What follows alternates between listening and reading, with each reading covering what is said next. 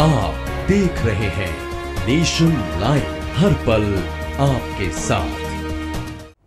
हरियाणा के कुरुक्षेत्र से एक अजीबोगरीब घटना सामने आई है।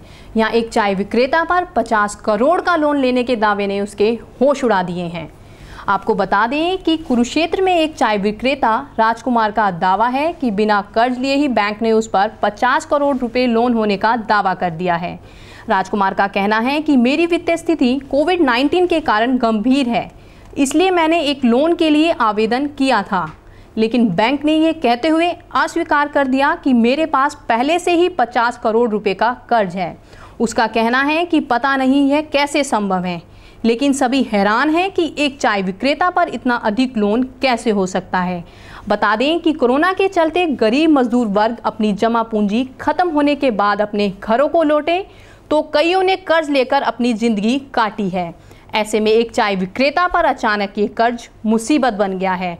हालाँकि इस कर्ज के सही या गलत होने का पता भी लगाया जा रहा है।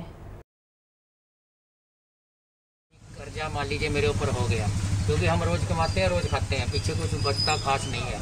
तो इस कर्जे को पूरा करने के लिए मैंने सोचा किसी ऐसे पैसे उधारे लिए जाएँ। तो आम आदमी से पैसे उधारे मिले नहीं। इसकी वजह से मैं एक प्राइवेट बैंक में गया तो उन्होंने लोन फार्म मेरा ले लिया। तो एक एक दो बंदे का और लिया गाँव में से, पड़ोस के बंदे का। तो तीन चार दिन बाद मेरा रिजेक्ट हो गया फार्म, और उनका पास हो गया। रिजेक्ट होने का कारण उन्होंने ये बताया कि मेरे ऊपर काफ़ी सारे लोन पहले ही पेंडिंग है, इसलिए मेरा लोन नहीं हो सकता।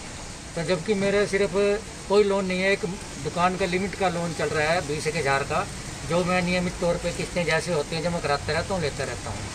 तो फिर मैंने चेकिंग कराई जी, सिबिल निकलवाया जी स्कोर निकलवाया किसी से तो उसमें ये सारी डिटेल पाई गई भी कहाँ कहाँ लोन है। उसमें बैंक के तो लोन नहीं, नाम नहीं लिखा है, लेकिन लोन लगभग पचास इक्यावन करोड़ रुपए के लोन उसमें दिखाए गए हैं। जो मेरे द्वारा नहीं लिए गए हैं, वो मेरे ही नाम के अलग अलग लोगों के हैं, जो पता नहीं कैसे मेरे नाम जुड़ गए हैं, वो ये